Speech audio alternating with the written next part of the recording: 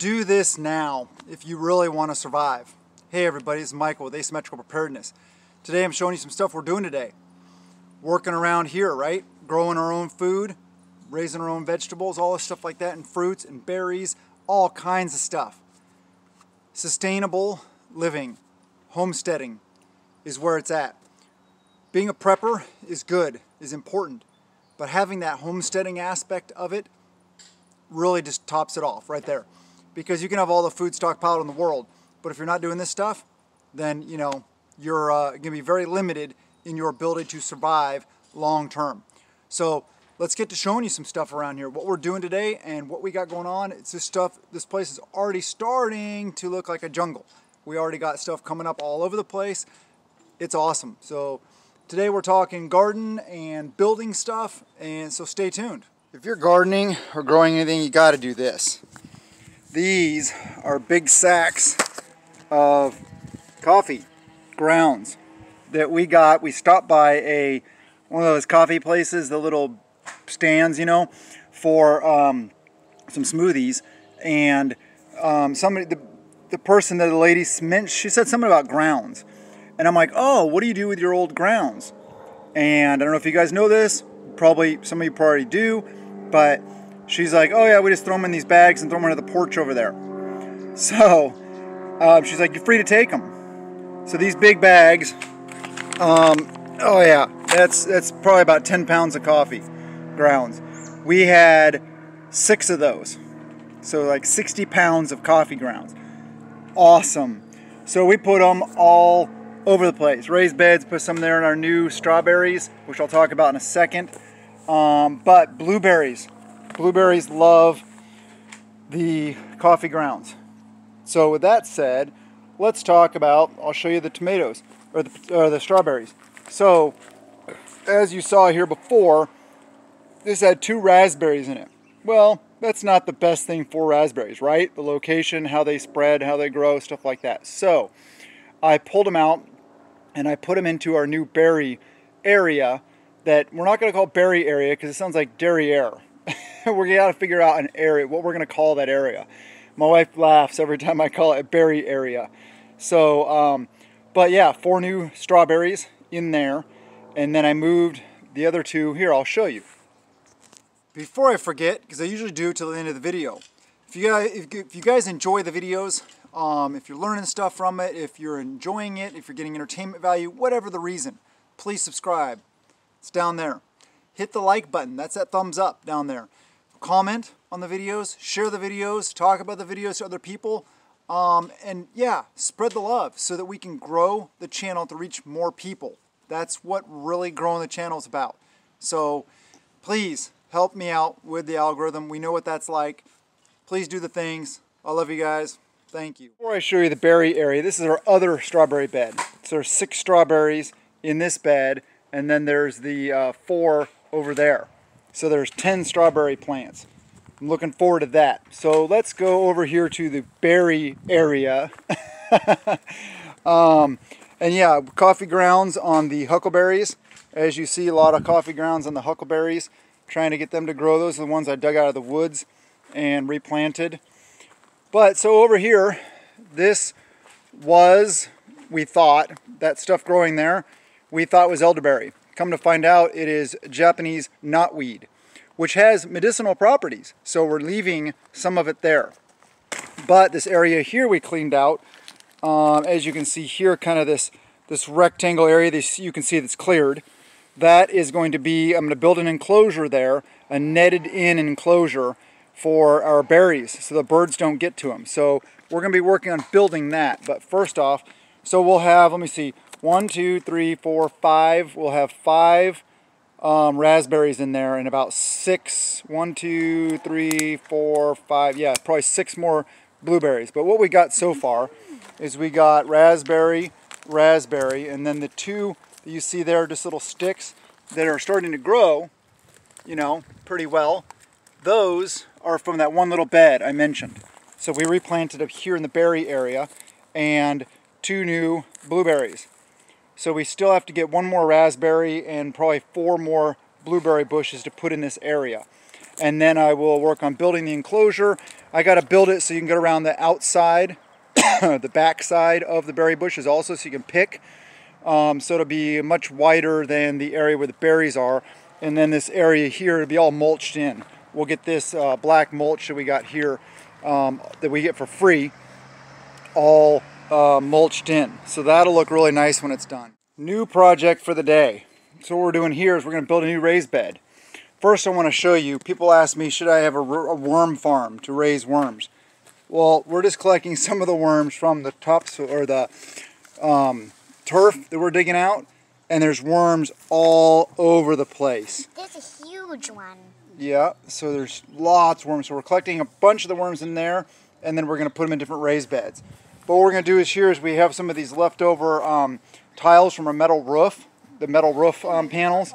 So what we're going to do is we're going to build a raised bed uh, using them and um, chain link fence posts.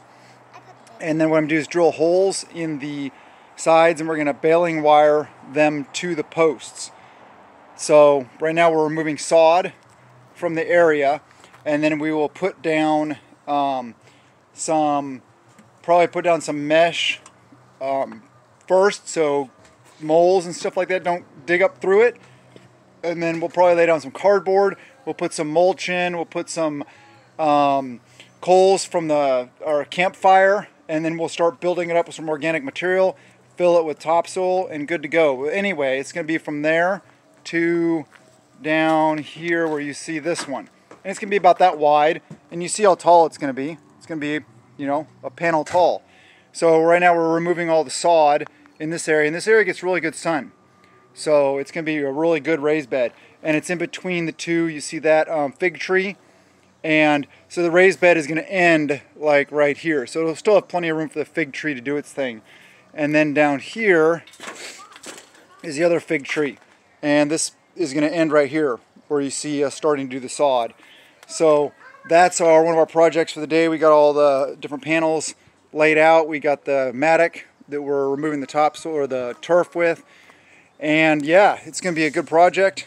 It's a little bit of redneck engineering here with these panels. So it's going to be fun. And continue with us and check out how it goes. Update on the project though. We got all the turf and the wheelbarrow you see and the messy building area. I got two posts in the ground ready. Um, and I was looking for wood, but all I had was pressure treated um, 4x4s and 4x6s.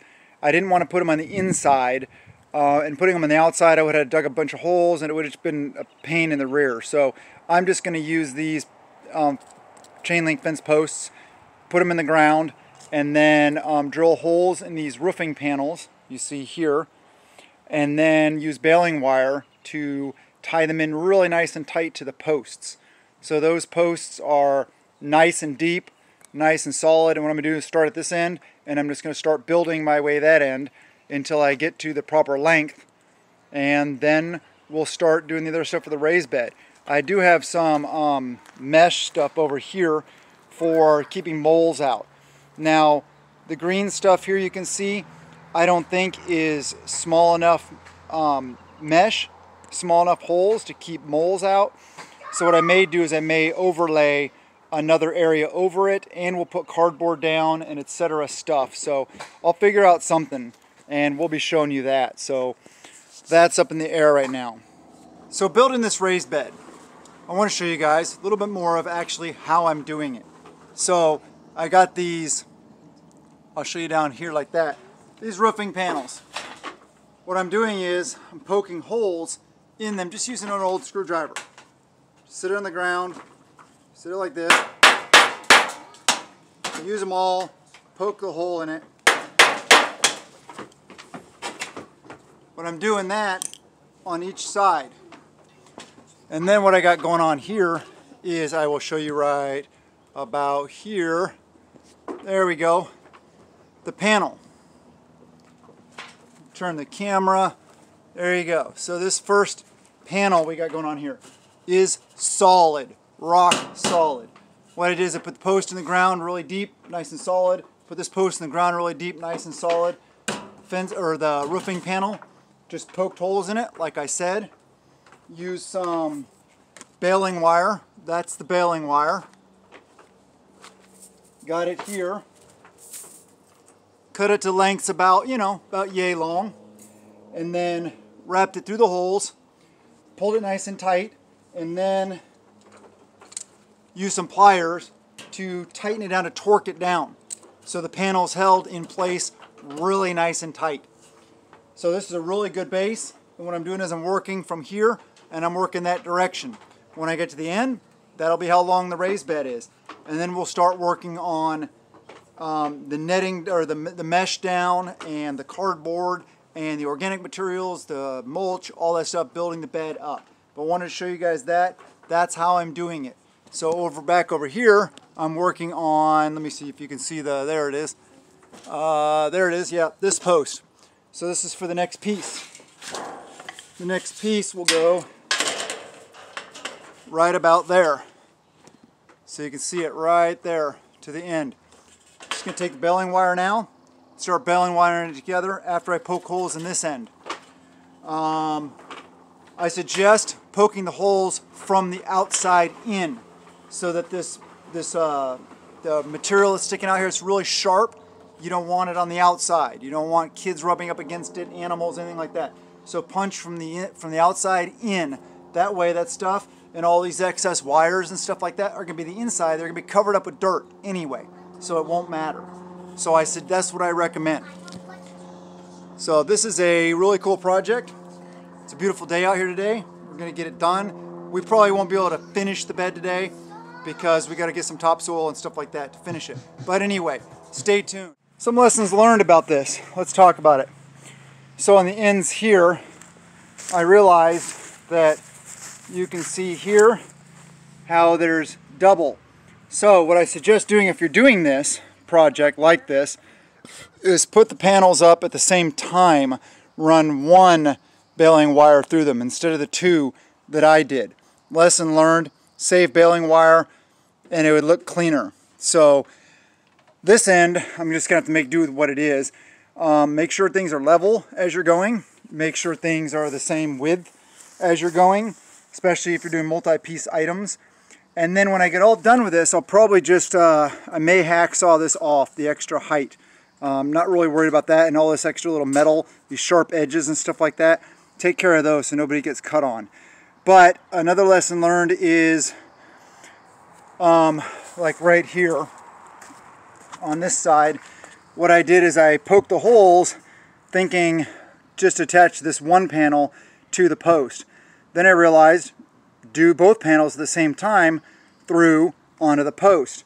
So that's a lesson learned. Make sure that your gap, it doesn't have to be perfect, it's a raised bed. And if the post is behind that gap anyway, no dirt or anything like that, like that is going to come out. But, and here, as you see where I poke the holes are a little too far from the post. I'll still be able to make it work, but that's a lesson learned. So on this panel, we're poking the holes in right now to add this panel. So that's some of the lessons learned and the progress so far. Also, as you're going, what I'm doing is I'm only putting one um, tie down on the panels until I get it all built so that I can maneuver it around, you know, tilt it up and down as I need. And then um, once it's completely all formed, then I'll go back through and I'll baling wire all of it so it's nice and totally solid. So that's some of the lessons learned so far. Things like building this berry area that we still have to figure out a better name for, like I talk about in this video. We have one, two blueberries, and we got right here one, two, three, four raspberries in here so far. We're to be building the structure for it, putting net over it so the birds don't eat the berries, right? They don't steal our harvest. Um, and what I think I'm to do for the door is I'm just to cut the netting, put a tie, you know, zip tie a stick across the bottom of it or some weight to hold it down. And then anytime we want to go in, all we got to do is lift it up because the birds aren't to find the little tiny holes. Um, yeah, they're just not going to. So it's not really that big of a concern. But having this ability to grow things, especially things like this, that reproduce year after year after year you don't have to do more about. You don't have to replant. You don't have to do all this complicated stuff. So that's the way I highly recommend you go for part of your garden. Very important. Raised bed, complete, all built and good to go. Looking nice, turned out really well. So now we are, I don't know why the screen went fuzzy like that for a sec.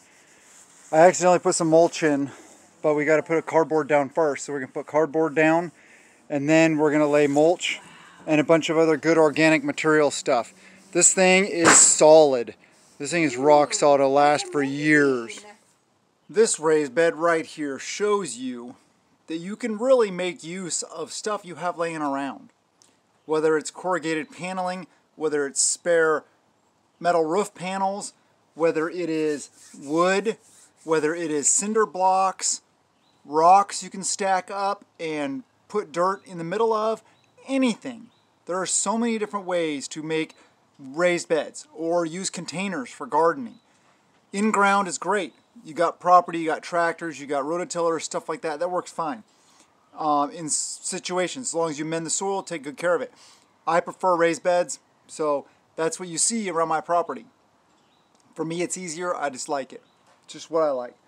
So yeah, and just look at that stuff. That's just all stuff we cleaned up around the yard. It just, you know, pine needles, pine cones, blackberry bush stalks, just junk. It's just organic junk. You throw in there, it'll compost down great. Um, and yeah, so we'll be throwing some topsoil in there and uh, it'll be doing really well. So I'm really looking forward to this place becoming more of a jungle. Uh, I'm trying to create our own little like Garden of Eden here, where it's just going to be edible stuff growing everywhere. It's going to be amazing. So we're going to talk about that a lot and show you a lot of updates as we're coming, as stuff's growing up, and then harvesting and all the good things. So do it yourselves though, please. Still making progress. There's the raised bed. All built, and now we're filling it. Got a lot of mulch in there and stuff we cleaned up around the yard that we had in a thing that we were just going to burn in the fire pit. But hey, why not throw it here in the raised bed? Really good. Just a bunch of organic material that will rot down. Banana peel in there, stuff like that. Yeah, I'm really happy with this. I can't wait to get, uh, we're going to put the rest of the mulch we have in there, the free mulch, and then we are going to fill up the rest with a mushroom compost topsoil mix, and then we will plant it. So look forward to that. We'll have to continue that in another video the filling it with uh, topsoil because I don't have any right now. But let's talk about some other things. All right, so to wrap it up, raised bed built and partially filled. Got some good progress done today and replanted, transplanted the um, raspberry bushes to the berry area, put four um, strawberry bushes in that little bed thing we cleaned up a bunch of the um, knotweed, made that area nicer, put in the two blueberries over there, the two raspberries, so now we got four raspberries and two blueberries in that area right now ready to go. We're going to continue working on that. We put a bunch of those coffee grounds all over the place. Um, that's going to be really good. So please do these things. Grow your own food, raise your own animals, be self-sufficient, take care of yourselves, provide for your families. I love you guys. Have a wonderful day. Blessings to you and yours.